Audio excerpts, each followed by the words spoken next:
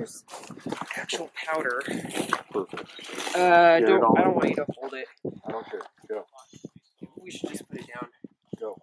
Okay. I just don't want to burn you. I know. I know. Warm this up.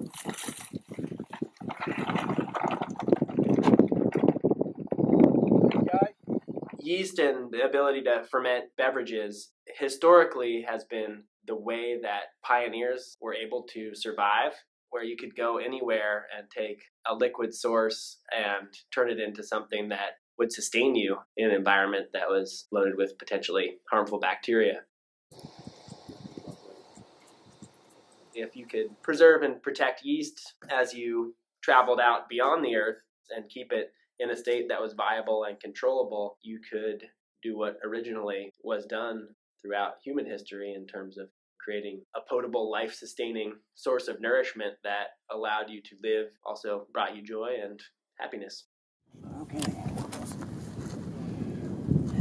Our biggest concern with the yeast was on Earth, we're protected from the sun's radiation, and up in space, you don't have that atmosphere to protect you. We don't know how um, the mutation would necessarily change the variables of the beer, the flavor, the off flavors. We don't know that uh, mutated yeast would even necessarily ferment sugars. We don't know that. Um, in reality, I mean, we don't really want to send it up there and come back and make a beer that turns people into reptiles or anything. I mean, I can see from a sci-fi perspective that you'd want mutation and craziness, and of course, if it mutated and still made tasty beer, that would be fine. Actually, for us as brewing scientists, it's a lot more amazing for us to be able to send that yeast through all of the hazardous conditions and have it come back just the way we wanted it to. Six, five, four, three, two, one. Fire. Fire.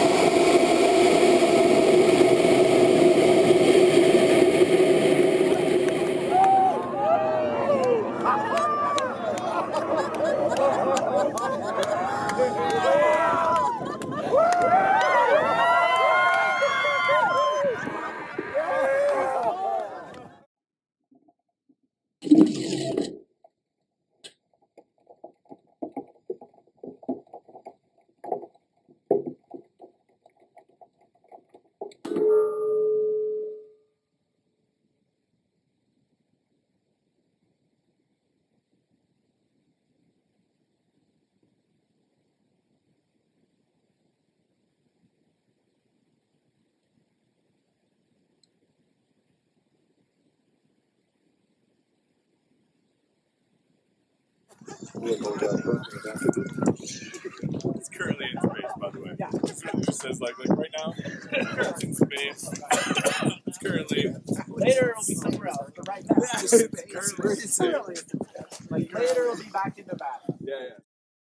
We had a cooling system built in, and the way that it was designed was to keep it viable for a period of time, but not in perpetuity, because obviously it's a living organism, and we couldn't put it like an electronic cooling device, or even that would have a battery life cycle life. So there was a countdown to recovery, and it was kind of an intense process. It was super disappointing that we couldn't find it, but between scouring the desert, helicopters being brought in, airplane searches were happening yesterday afternoon because these guys really need to find it as well per the electronics that are on board and some of the tests. They were testing a new type of tracking system amongst other things. So there's there's a big search underway to find it. So chances are they will recover the payload but at this point we're pretty sure based on the designs that we came up with that the yeast wouldn't be viable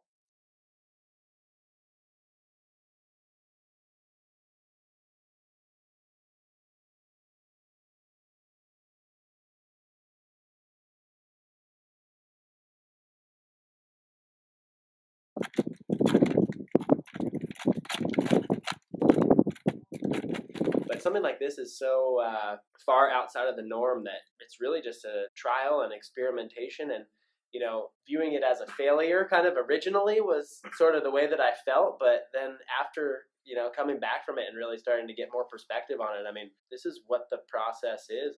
You know, Thomas Edison said that he didn't fail 10,000 times to make the light bulb. He just figured out 10,000 ways that it wouldn't work first. It's taken thousands of years for beer to get where it is and for the flavors that we get and for uh, what we can do with it. This is a process of being on that frontier of trying something new for beer with relation to yeast and, uh, you know, its viability in space.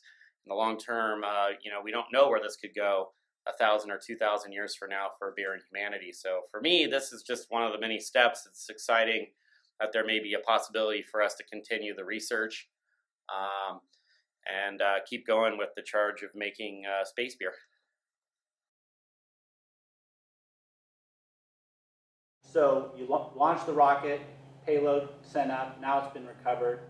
We know it's not viable. Are you just gonna, just this the, what are we doing now? What are you guys gonna do now? Well, we have an opportunity to take a look at uh, the box that we sent up into space and to see how it uh, uh, did on its trip. And we'll be able to test the yeast regardless of its viability uh, for whether it had exposure to radiation, solar radiation, other things. So we'll actually get to do some research on it. And then how did, how did uh, the opportunity for mission two come about? So uh, after mission one, you know, we were, you know, went through the the, the waves of emotion, and then um, really started to look for opportunities to, uh, you know, continue to achieve what we set out to do, which is, you know, get yeast up into space, get it back viable, and make beer with it. And so, um, you know, being around uh, these groups and just discussing that we would really like the opportunity to be a part of any future launches that took place in this capacity with some learning applied from what we did this time around. Um, we were able to work out an arrangement where we could be a smaller portion of a commercial payload that was being launched. Um, that they would help design again the yeast container vessel, um, get it in the rocket, and uh, and this time get it back quickly so that we can uh, get the yeast back and, and make it happen.